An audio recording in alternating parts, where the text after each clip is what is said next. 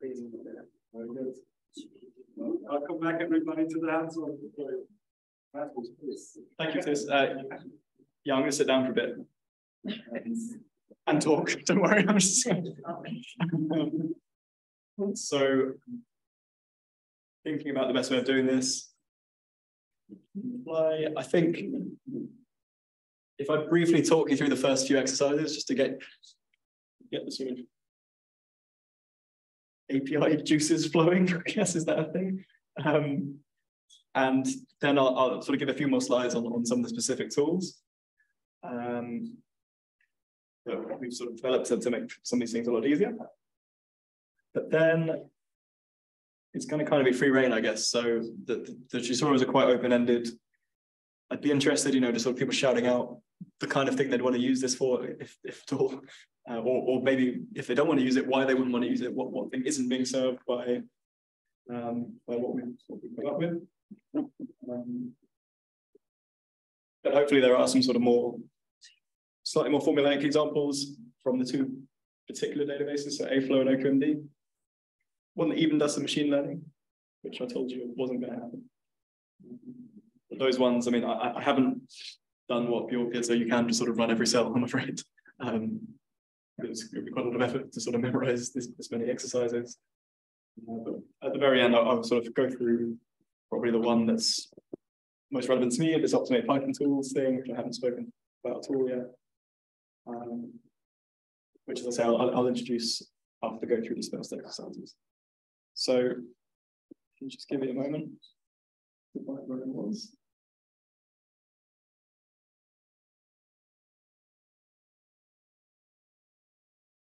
So I'm just going to go to the,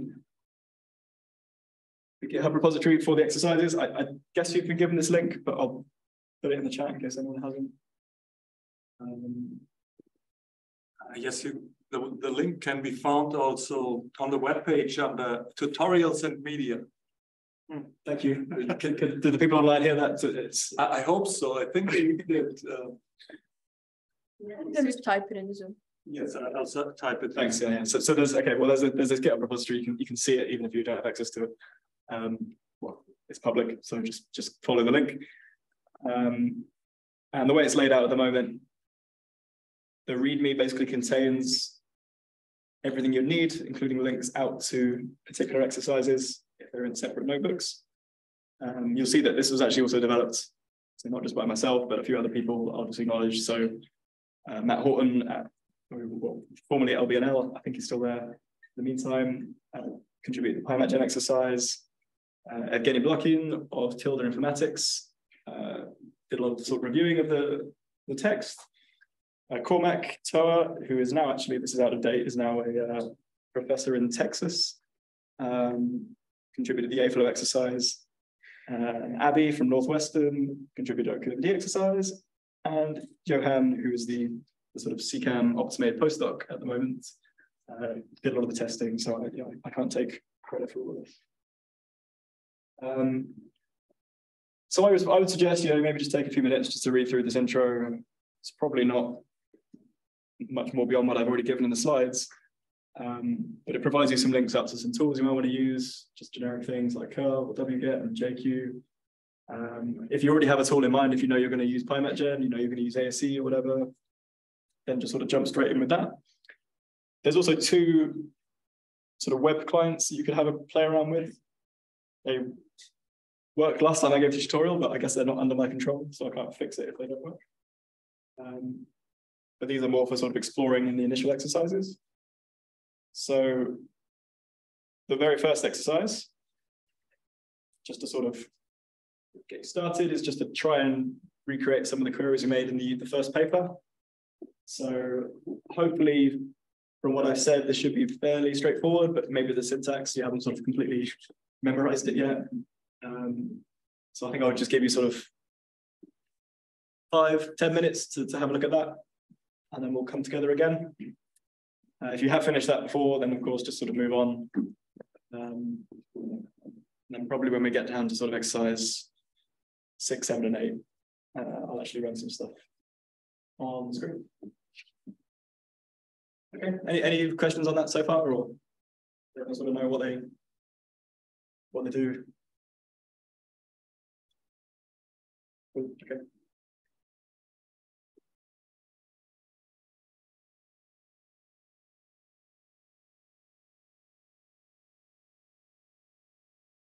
I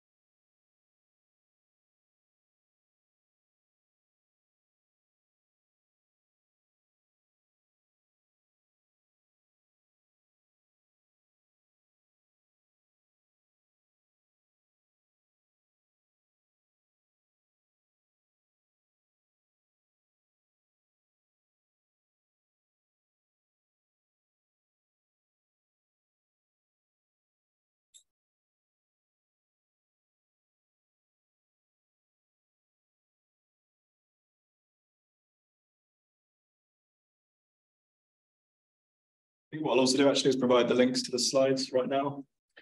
So if you do want to refer back to particular bits, you can. Is there a particularly effective way for me to do that, Matthias? Obviously, If if I, if I put a link to the slides in, in the chat, could you also share it with? Uh, I, I put, I put already, oh, a, s- a- a link to the slides, I see it Chat. in the chat. Sent us. That is the thing, the best thing, I'll get- later put it also on the website. Yeah, it's just so people can sort of refer to it now if they want. I can do that. I'm- I'm looking at it.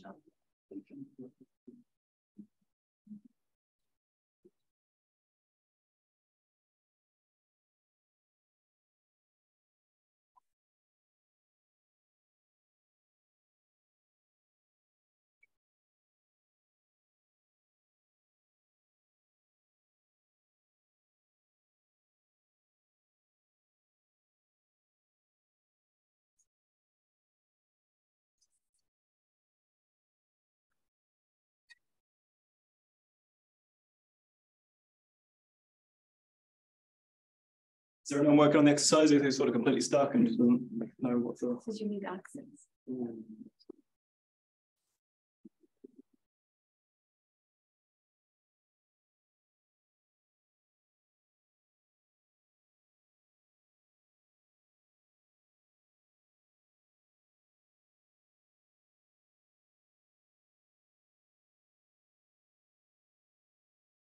It's the same link, but you should have access now.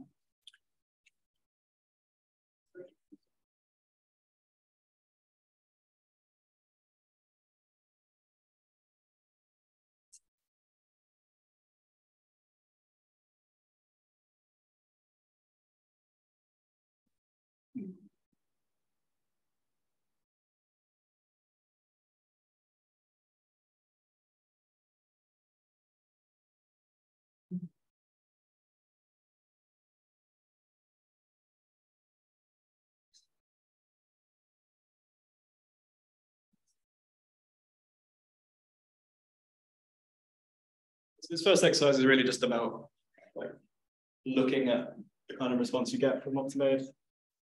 I don't sort of stress that too much. Just try a few things out, see what makes sense. You don't have to go through and reproduce this table. Certainly not manually.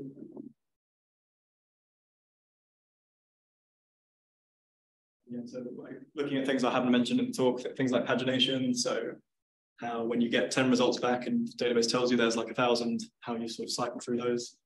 Probably a useful thing to look at yourself. Um, so you can see this, this top bullet point on the screen at the moment. Uh, if there are more results, you should find this sort of links subfield that has the next link. If you click on that, it should just take you to the next page of results. It should be there.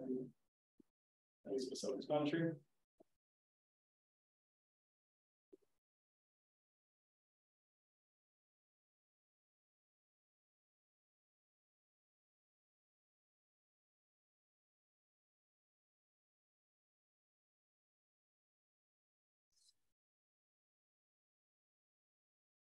I should have also said there is some, uh, if you get sort of really stuck about, you know, maybe if you're not familiar with Python or, or whatever, there's some example code right at the bottom here in the appendix where you may be able to sort of borrow some of it and, and use it for some of these queries.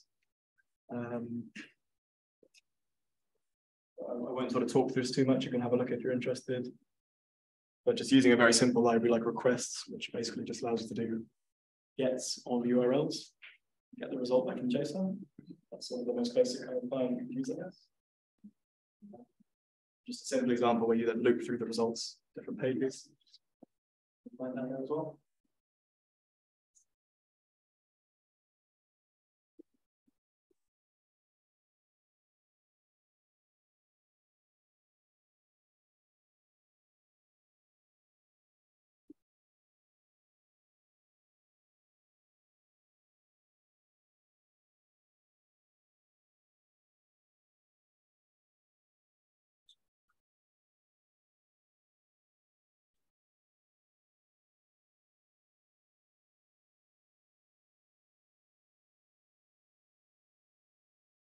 For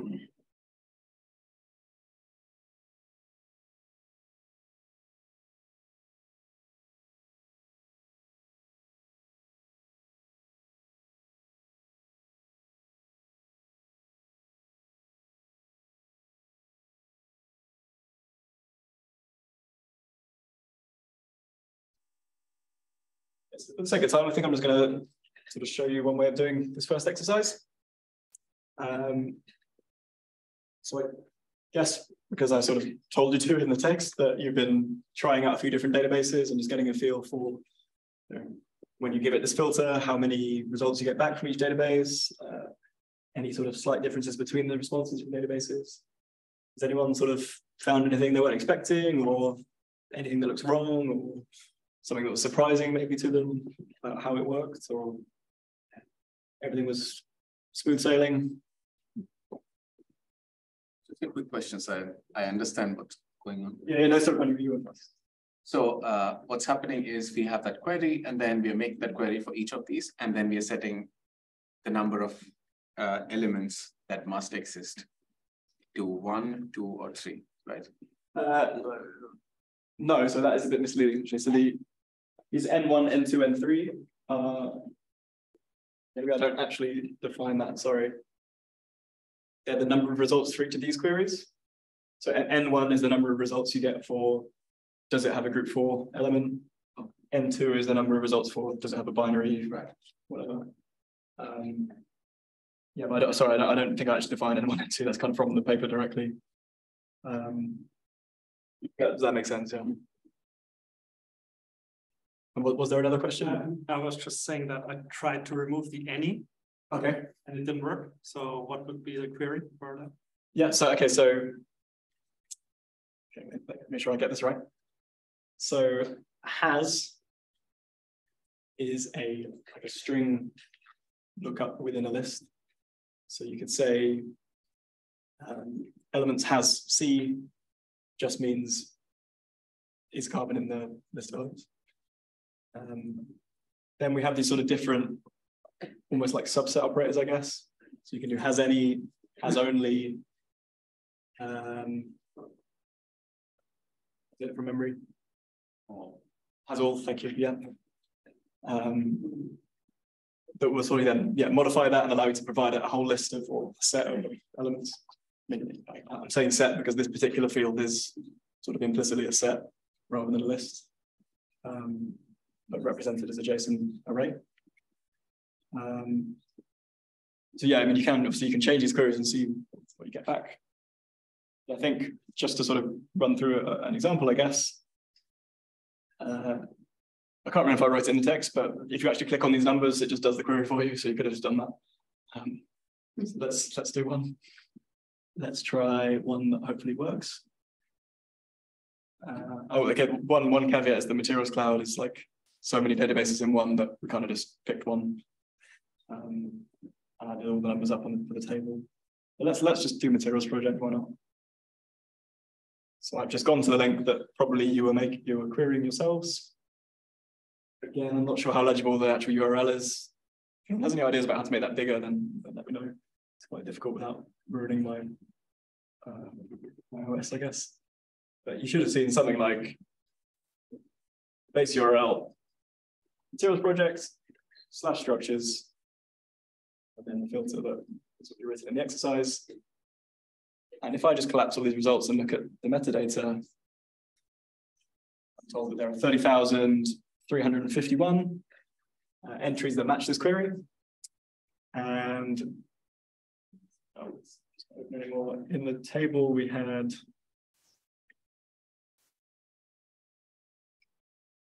Twenty-seven thousand. So since then, another three thousand structures in materials project for that particular query. So hopefully, this is kind of like showing you that these things are in flux, I guess. There's new structures being added all the time. Uh, certainly, if I did the same query for Nomad, I'm sure it would be, you know, 10 million or something by now rather than just 3 million. It's, it's really is growing at some rate. Um, but I don't want to sort of dwell on this too much. You can just sort of play around with these yourselves. Um, sorry, the, the query should be performed on the notebook itself or Oh, the what, sorry? The query string should be um, run from the notebook itself or from? So you can do it from wherever you want, really. So this first exercise, you can just have a look in your browser, just literally click on the link and view the JSON as you as you get it. I don't. Um, So I can show you how to do it in the notebook as well. That's, Yeah, yeah. that makes sense, right? That's a good point. I kind of, yeah, these weren't developed necessarily with Colab in mind initially, so it might be a bit janky in places. Um, so let's actually open the Colab as you, as you say. Do I have the own Colab link? So this is exactly the same document, just rendered in as a Jupyter notebook. And one way you could execute queries, perhaps just make a code cell under the uh, under the table. And I think this will work. Use a command line utility called curl just to test it. I'm going to go to uh, what's it need? Oops. It's literally manually making the URL. Filter to equals um, just copy paste this.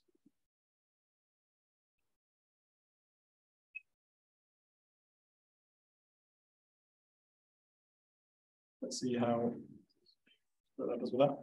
I think curl is available within curl. Do I trust myself? And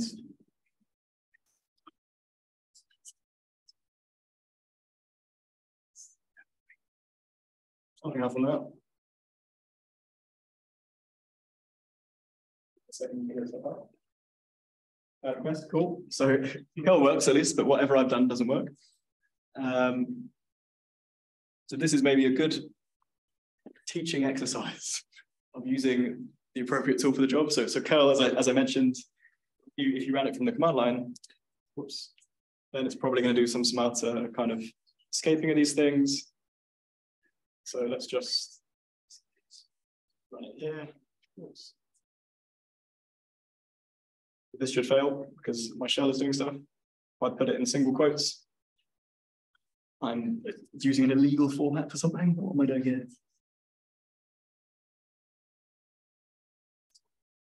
Look illegal to me. May just be the first tool. So let's just test getting the first page of that built up. It fills your terminal with junk. You then pipe it through a tool that can pass JSON. You can see that you are getting back what you're expecting. So, you know, uh, as I was saying, you, you can do that stuff inside the notebook directly using command line tools, but I would recommend following the, the Python code at the bottom of the, the appendix and trying to sort of play around with your own stuff. So the tool that I would, the library I would recommend is requests. So you can run the cell that installs requests, but it probably is already installed by default in Colab. And that allows you to use sort of Python's own string handling to make sure it's not sending completely broken results. So I'm going to take the bad request. I'm just going to wrap it in a uh, the way you make requests in this particular library. So request.get. Haven't imported it. And I just press something that's made the screen fuzzy. So okay. Just the pull request is not a standard library thing, it's, it's an external package. This time I get a 200 response. I didn't change anything in that URL. This is just the difference between the way that URLs are handled between these tools. Probably would have made sense if I'd actually saved the result of this. I think uh, I was going to be smart enough, but I can do result equals this dot JSON. It is. Um, that's a handy Python trick if you don't know it, that whatever the like the last thing that was interpreted by the, the, the prompts even if you didn't save it, it gets sort of given as temporary variable underscore. Gets you out of a lot of trouble sometimes, especially if you've run something for like six days and you've got to, to save the results, but you still have the interpreter open. Um, so let's have a look at this, this result in Python. I'm going to import the JSON standard library module, and I'm just going to do like a, a JSON dump of results. indent it. It should be dumps for a string and it's going to look ugly. So I'm going to put a print around it.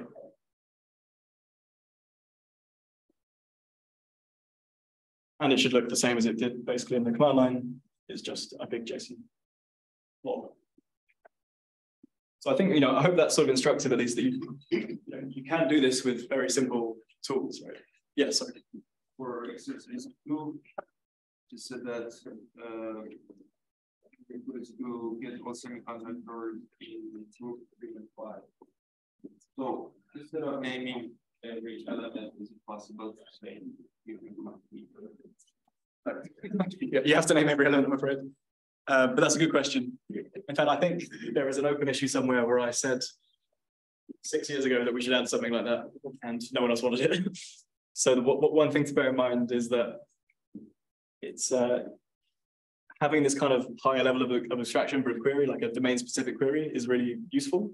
And you you could write a tool that if someone asks for three, five semiconductors, it's very easy just to write out the string automatically, right, of the, the elements, if you know what group three is and group five is. So that would be like a nice tool above the Optimade API. But the things we standardize have to be things that could be mapped directly to database queries, how things are actually stored in each of these backends. So the common thread here was that people do seem to store element symbols, unsurprisingly. So we should be able to query on those directly. So there's not really any like, you know, we don't expect a server to have to interpret the query that much. They just have to sort of read it and then turn it into a database query. They don't have to understand any sort of extra context about the query. Uh, another question. I haven't uh, uh, read the other exercises, but I wanted to see if it is possible to uh, request for some conditional that will give me all nickel, cobalt, and chromium uh, configurations that elastic constants are, for example. Yeah, so if if the database has elastic constants, then sure. Yeah. That's obviously, I mean, sort of goes without saying, right? Um, how you would find a database that has those is slightly tricky. So there's not an easy way to sort of query for that information in particular. But if you know that, yeah, okay, let's let's just do it while we're here. So I think AFlow has some elastic constants. So if I was, you know, if I was trying to figure this out myself, I would go to the info structures endpoint of AFlow. And I would get a blank screen. They have maybe a couple of issues to iron out here. More chance. Okay, so not a let's try OQMD. So again, info structures of OQMD. Uh, if they don't have elastic constant, I'm just going to pick something else. So they have, let's say, space group boring, let's say, band gap. That's one of the exercises later on is going to be on machine learning of band gaps from OQMD. So you can construct a query just, you know, for your specific example. Um, what I'll do just for ease is to use my own tool for this. So what did you want? You wanted nickel, chromium. Okay, so we're going to do elements as nickel, cobalt, chromium has any. Uh, and so we're going to chain this thing with another another filter.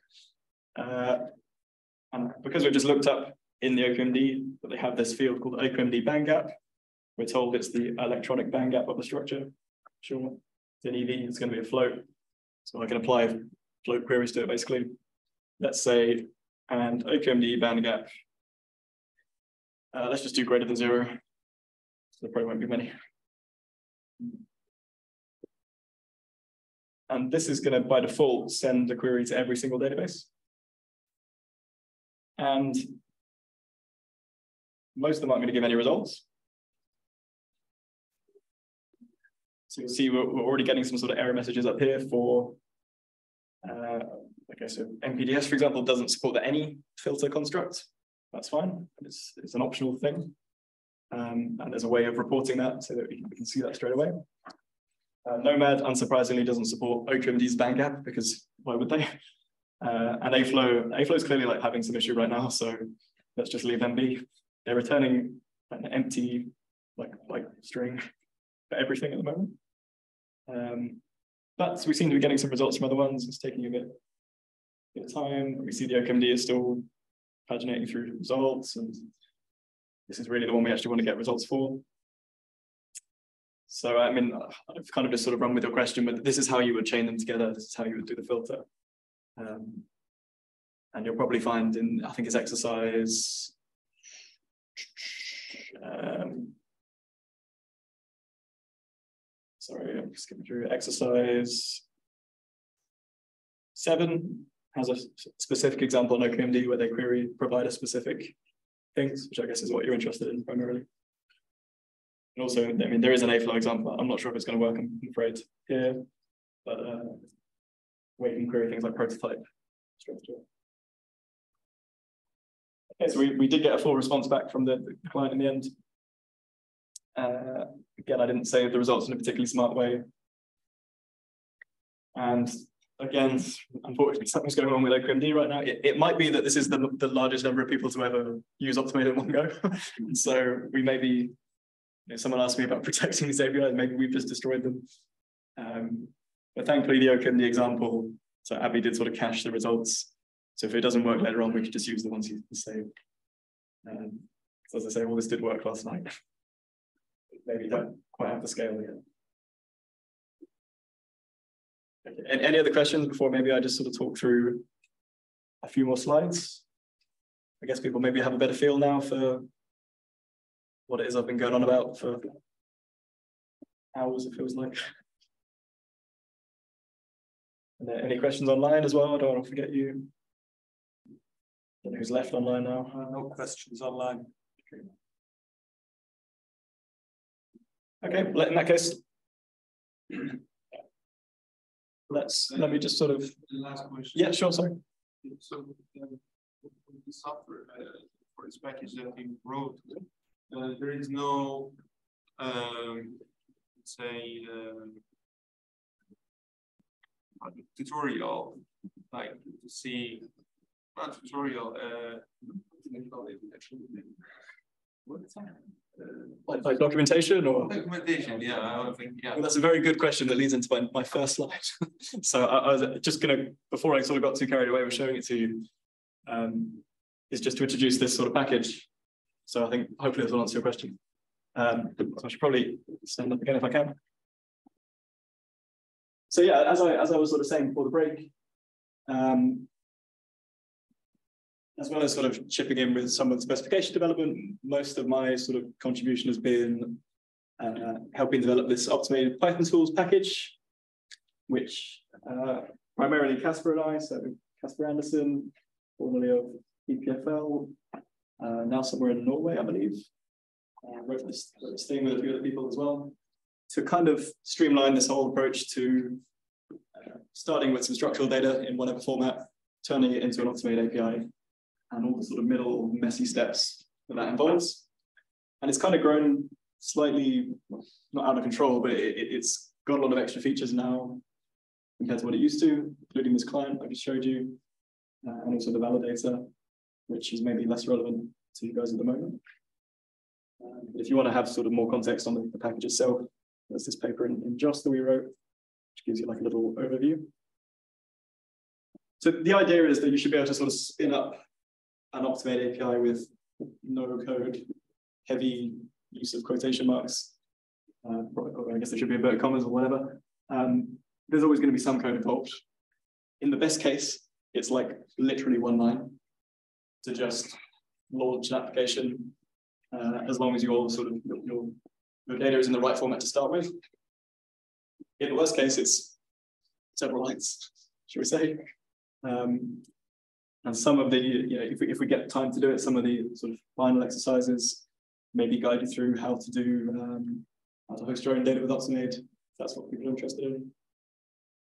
So people that know what these are, it's built on top of Pydantic and Fast API. We basically describe the Optimade specification in code so that you can run a web server that obeys it. Uh, and, and these are the tools we use for it some technical stuff about generating schemas that you can then use in other projects. We kind of do that for the, the overall consortium. Um, we have this thing. Can I remember what the acronym is? Are there any computer scientists here? Probably borderline computer scientists. This, this, uh, I think it's an extended Becker Newhouse something recursive grammar format linguistics stuff. EBNF. No one knows this fine because I don't. Um, but it's basically this, this sort of another sort of domain specific language, how you describe the grammar of an Optimade query. So that's all sort of uh, described in a machine readable way. And thankfully, there are packages that can read those kind of files and sort of do the hard work for you. So you know, it, it, turns this elements has whatever string into a kind of like a, an abstract tree of logical clauses and things and can chain them all together. And that, that is a hard part of, of developing an Optimade API, and I wouldn't recommend anyone else does it because we've done it um, for our particular case. But the, the it's called extended Backus-Naur form. What did I say? I think I said Bauer Bacchus or something. They're probably dead. Um, it was very close. Yeah, actually, thanks for correcting me. you just said, yeah, you got it right. yeah, so the, the so okay, once we have this sort of abstract tree, whatever you want to call it. Uh, you then have to actually map it to a, a, query you would execute in a database engine. So something like you know, MongoDB was popular, probably still is quite popular. Um, Elasticsearch or you know like SQL or something you're probably more familiar with. Uh, that part is is probably the most manual part. And as I say, we've sort of done it for MongoDB and Elasticsearch.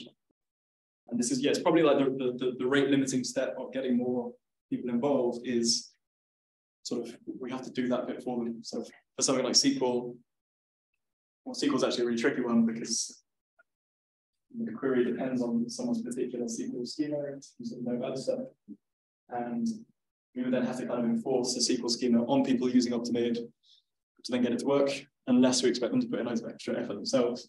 So long story short, it's slightly trickier. Hopefully, if we get more people involved, we can uh, come up with something general.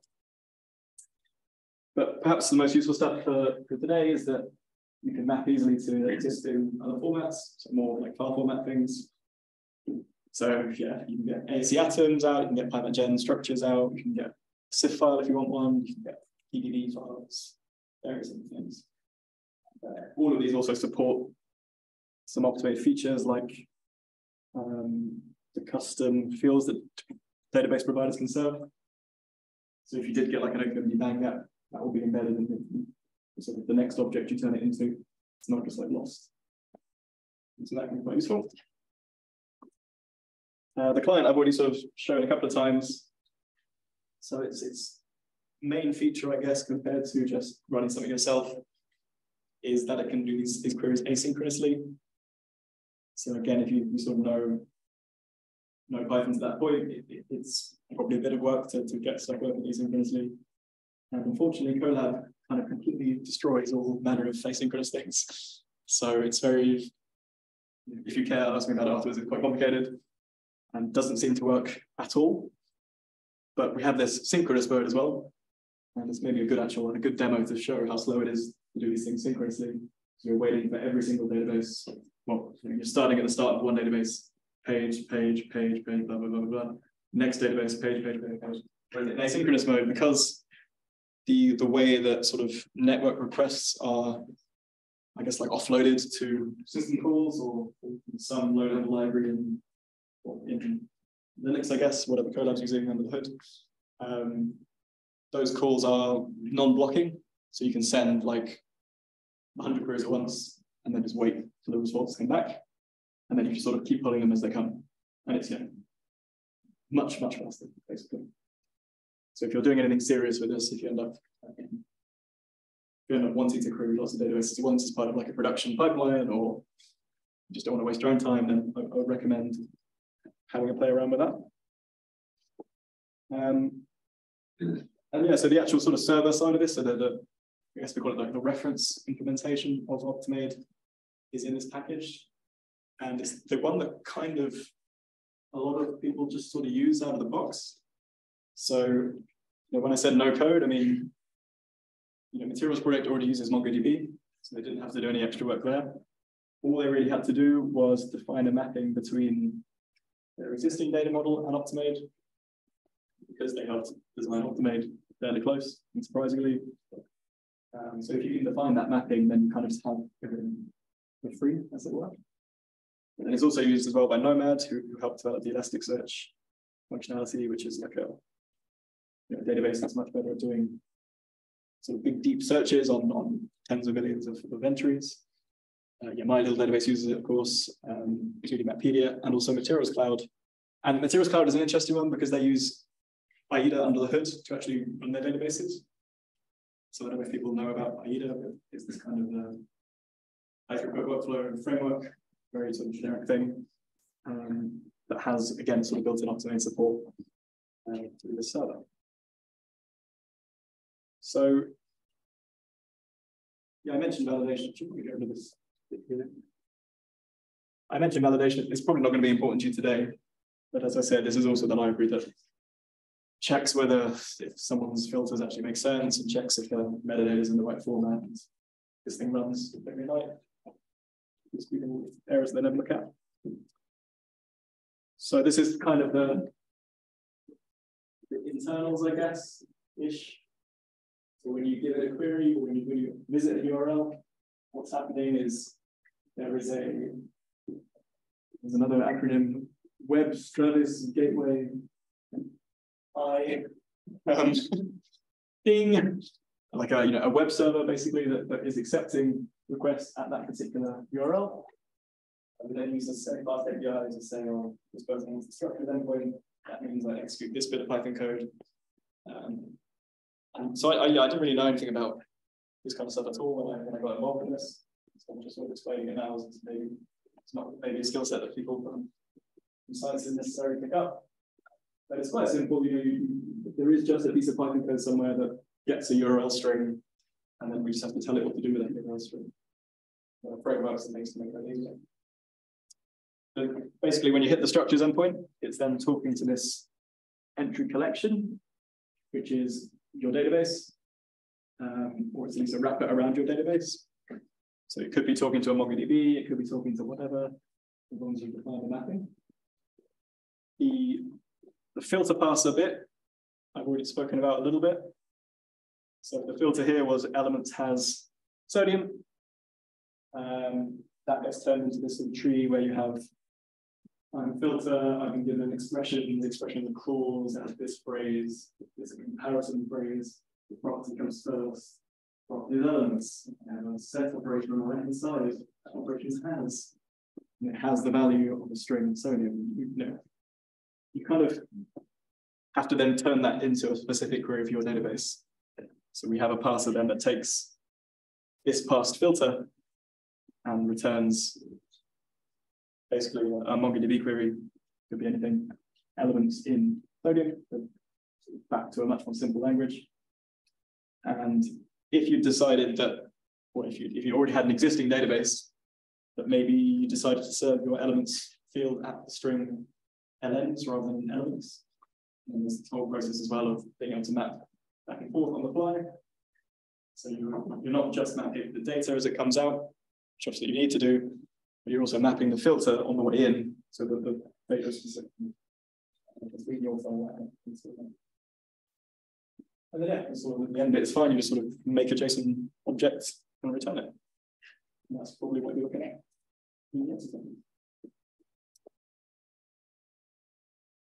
Hey, I mean,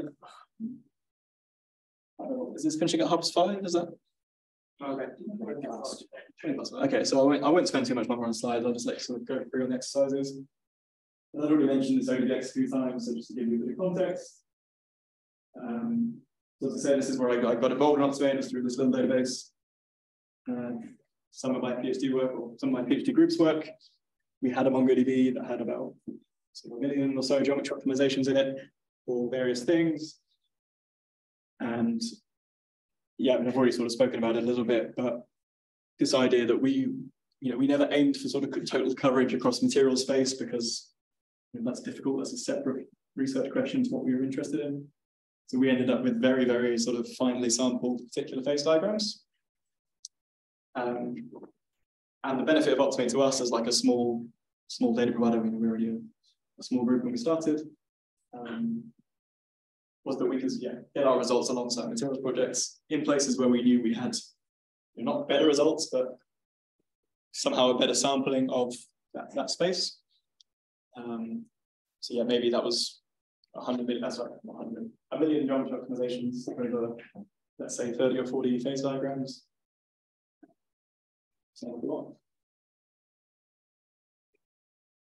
What we were able to do is just make a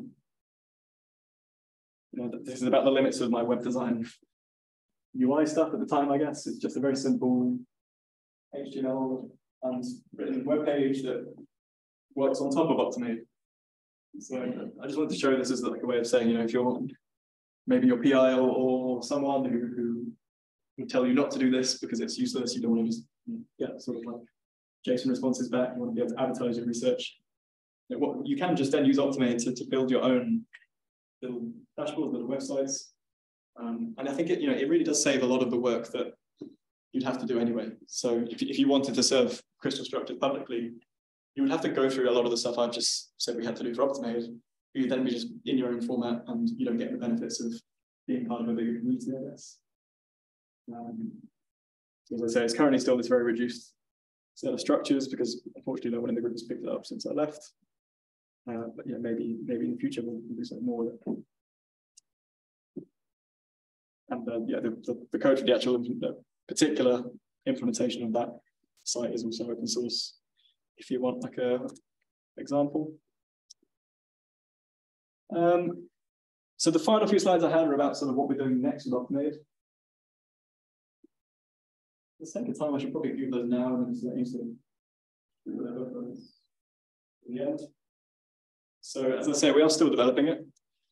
We still have all these monthly meetings. I think I'm stupidly volunteer myself to be like a release manager for the next version. So there's still activity on the GitHub repository, I guess, for the, for the specification itself. This isn't including any of the databases, any of the tools. This is just words changing or being added to the specification. Um, so in the next, in the upcoming version, which is hopefully going to be out end of next month, I guess, uh, we've enhanced the way you can describe properties to have much more of a, uh, what to be focused much more on interoperability, I guess. So you can, if you heard me mention JSON schema before, essentially you can now provide a JSON schema for your Optimade API, which allows you to specify you know, things like units and uncertainties and links out to persistent definitions that maybe you've used like an ontology or something. I don't want to talk about that at all, but um, you know, this, this idea of then connecting up to maybe the wider community as well of sort of information centers generally. Uh, we've added a, quite a few new fields that have been driven by things we want to filter on ourselves. So we're kind of worried that someone could turn up and, as I say, give us like a two million atom biomolecular complex thing, and we would then just have to have that in all of our queries going forward, which isn't particularly helpful. So we're thinking of adding things like, um, uh, yeah, so some vague description of the domain of, of of that particular structure um, in a way that's that's more easily expressible than sort of making sure that n sites is less than two million. Um, things like symmetries as well has been a common thing that people want. So, you know, space groups, but also down to the lower dimension symmetries as well. Uh, adding support for sort of trajectories or trajectory style things. So somehow correlated structures. Probably don't want to have a database of know, million Monte Carlo configurations served as structures, because then if they're all nearly the same, it's not very useful for people to actually query. Instead, you would put these in the sort of a collection of structures you access from the like a trajectories endpoint. And this could be a way also to drive things like machine learning data sets where you do have correlated snapshots of a particular system. Uh, you'd be able to use trajectories to filter on the sort of the global metadata of the trajectory. So what is in, what elements are in the trajectory, of sort of seeing um, maybe some sort of aggregate properties of the trajectory.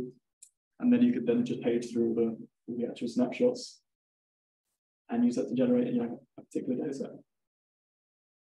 Um, the next thing is this idea of federated property namespaces. I don't remember why I called it that, but this idea of basically sharing definitions between databases in a more decentralized way.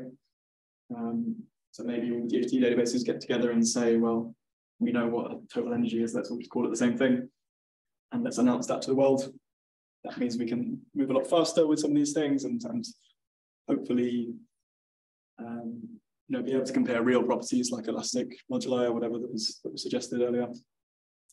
And also this, know, it's quite what we've what we've developed as well It's quite generic in terms of, you know, you could you could now just define a new type that has a completely different domain. You could say do I can't think of an example off the top of my head, but I don't know, another research object like a sample, experimental sample or something. You could describe it with all the same machinery we've built up. You just choose different fields for the things you filter on. So I think you know there's there's some there's some way we should reach out to these other communities that, are trying to do similar things um, in experimental sciences and uh, others.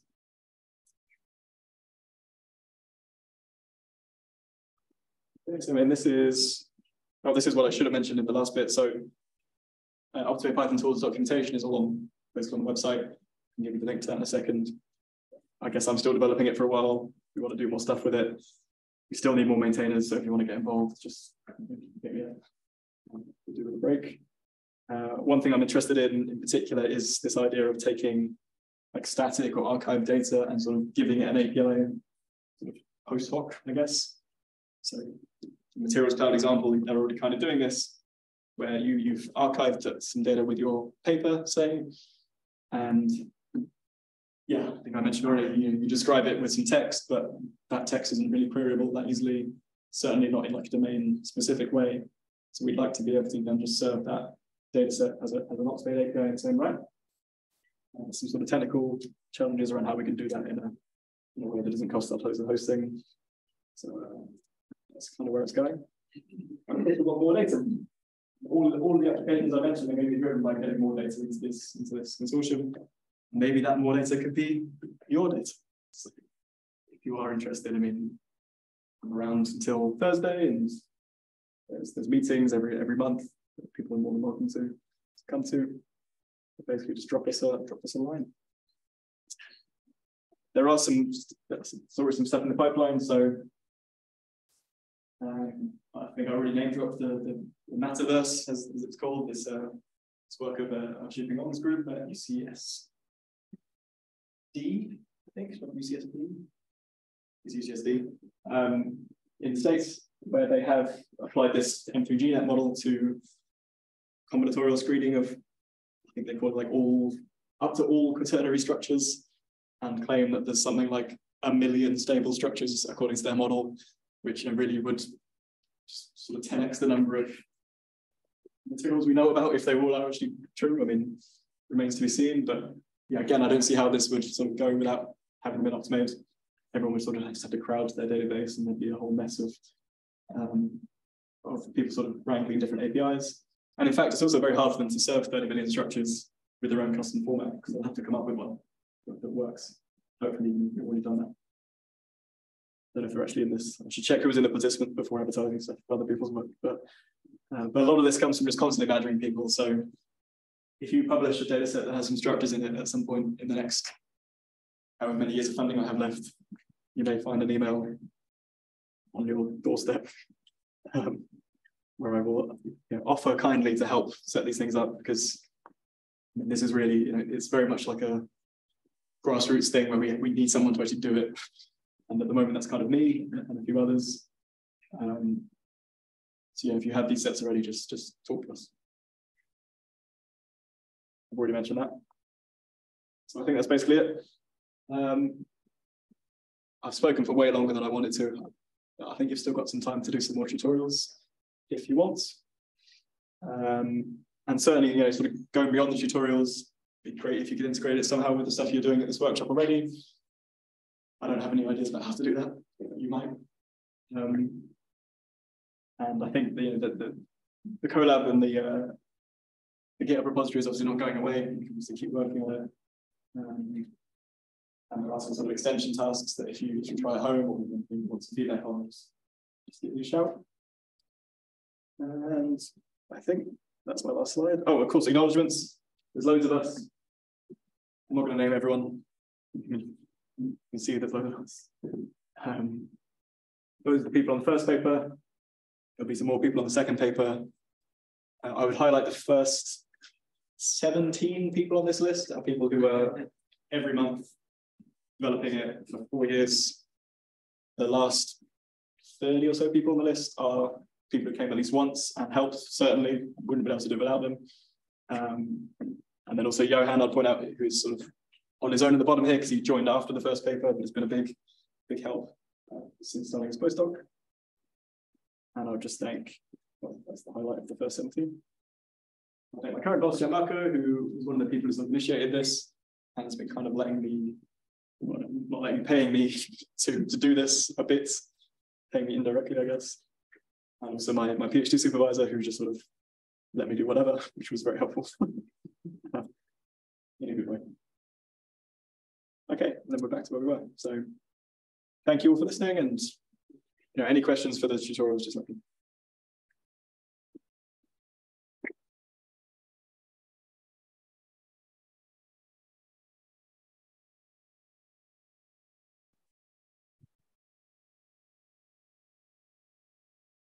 Immediately arising or? I have a question about the exercise tool where it says um, you should search for binary uh, group three and group five semiconductors. Has it meant that one of the elements is group three and the other is group five? Yes. Okay. Yes, you think about the best way of encoding that, I guess, in the element style queries.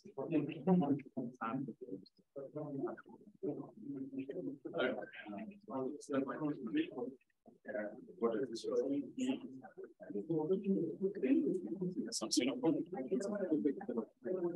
Yeah, those would be- you know, that- that might focus the online things. Okay. I could probably do that. We're still here, don't worry, we're just gonna be for a minute.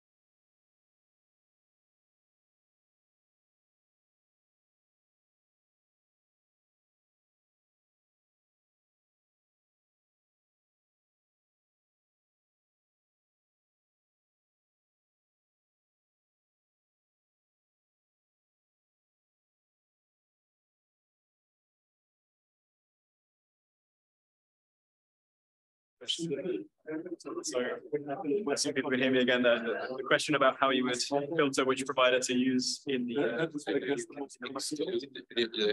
Provider and Yeah. base URL since we want. Just have what. So, you- so the base URL, if you look at this, the static list. uh, Let's go into particular provider. And then the base URLs are these things that are served, databases served by each provider. So most only have one. database. You would actually provide this as a list.